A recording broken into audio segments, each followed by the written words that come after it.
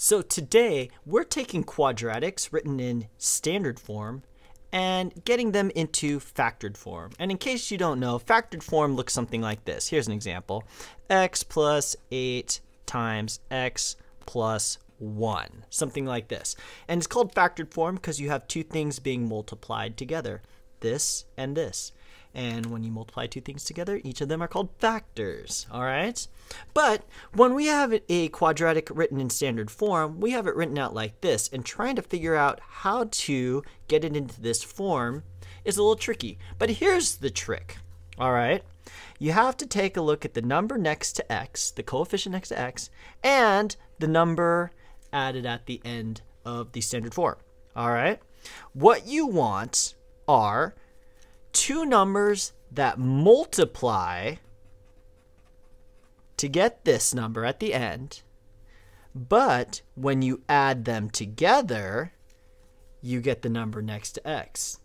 And it's really important you pay attention to the sign of these numbers also, because that is important as well. And once you figure out the two numbers that work for both of these, those are the two numbers that go in your factored form. All right? So, for example, x squared plus 7x plus 12. So we're looking at the positive 12 and the positive 7.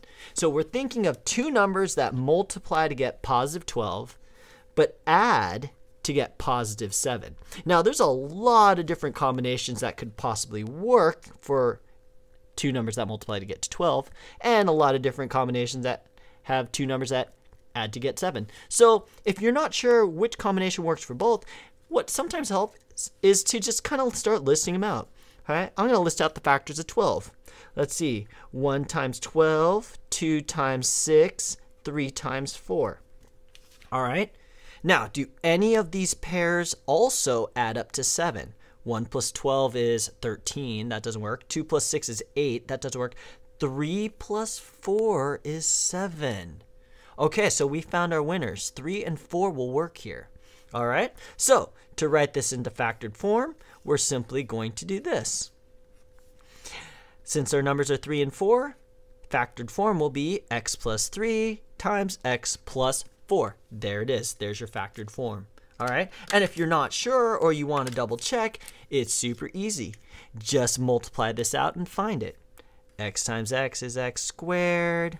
x times 4 is 4x. 3 times x is 3x. 3 times 4 is 12. And combine my like terms here, I've got x squared plus 7x plus 12, which is exactly what we started with. Okay, so that's all we're doing here. I'll give you some harder ones because now we're going to start seeing how the negatives affect things. All right, so I've got x squared plus 2x minus 15. Again, I need two numbers that multiply to get, in this case, negative 15 but they add to get positive 2. Now, it gets a little harder with negative 15 because now when I list my factors, one could be positive and the other could be negative or switched around. For example, 1 times negative 15 gets me negative 15, but negative 1 times positive 15 also gets me negative 15. All right, so you can see it kind of doubles our list of possible choices here. 3 times negative 5 gets me negative 15, and negative 3 times positive 5 gets me negative 15, and I believe that's all the whole number options I have.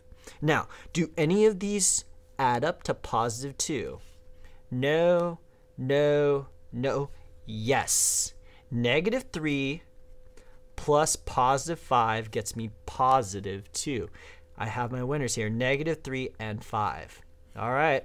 So the factored form would be x minus 3, because it's negative 3, times x plus 5, because that's a positive 5.